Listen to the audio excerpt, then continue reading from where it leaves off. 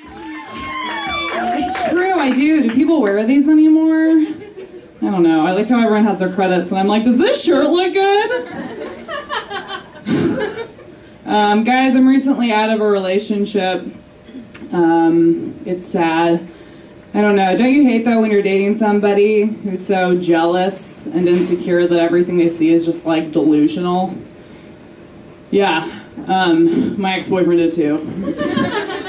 Um, yeah, apparently I'm a psycho. I didn't know. I wasn't aware of the fact. I just like found myself constantly towards the end of our relationship just like thinking of ways to go through his shit. Like he'd go to the bathroom and leave his phone out and I'd be like, "Sweet." I go through all of his pictures and I found one. This one time I find this picture and I pull it up and I'm like, "Who the fuck is this? Who the fuck is this bitch?" He was like, "Anna, um it's my sister's dog. Um, his name is Charlie. I was like, oh my god, you're gay? yeah, that joke is funny uh, um, because he uh, he is now. This is true. It's a very true story. My ex-boyfriend of three years is a gay. And it's weird because like there weren't any warning signs. Like it just kind of came out of nowhere. I mean, I met him at theater school. I was his first kiss on stage during Thoroughly Modern Millie. And uh, he named my strap on Trevor. But just like, it's just like normal relationship stuff. People go through it. Yeah, so like getting out of a relationship and starting over in LA is, um, don't.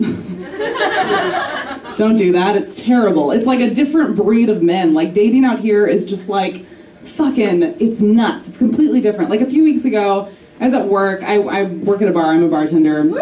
Yeah, yeah, shout out to the bartenders.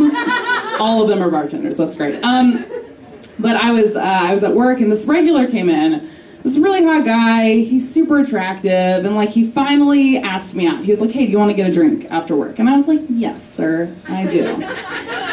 so we like went. We got a couple drinks and uh, he walks me to my car and we like start making out. We're making out for a bit. And then I just like, you know, when you just you have a feeling about something, you like know some shit's up. Your gut's like, "Hey Anna, ask him a question." And I was like, "Okay."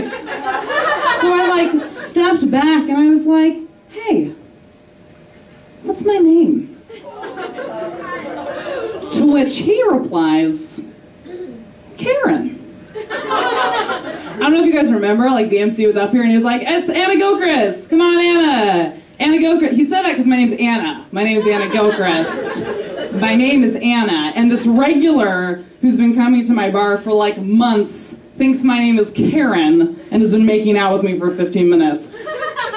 So I looked at him and said, "Yes," and kept making out. Which is like fine because I didn't know his name either.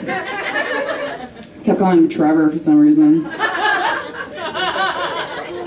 Speaking of feminism, um, I am one now. I am a feminist. I've decided to become a. I mean, I wasn't like not a feminist before, but like, I don't know. I watched a couple videos. I read a BuzzFeed article, and I'm pissed. I'm super pissed. I'm angry. I didn't. I've like created this weird hate fire inside of me, so deep for men that I like can't wait to go out on the weekends and just like destroy dudes, just crush their self-esteem. These like nice guys who come up to me and they're like, "Hey, can I can I get you a drink?"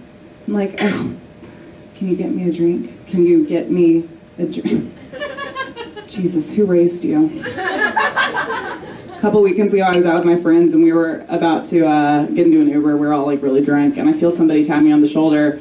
I turn around, it's this guy. He's like, he's out of breath. He's been like running. And he was like, I'm so glad I caught up to you. You left your phone at the bar, so here you go. And I was like, oh, did I? Did I leave my phone at the bar? Is that right? Oh, whoopsies. I'm just a silly woman, right? He was like, yes, you did.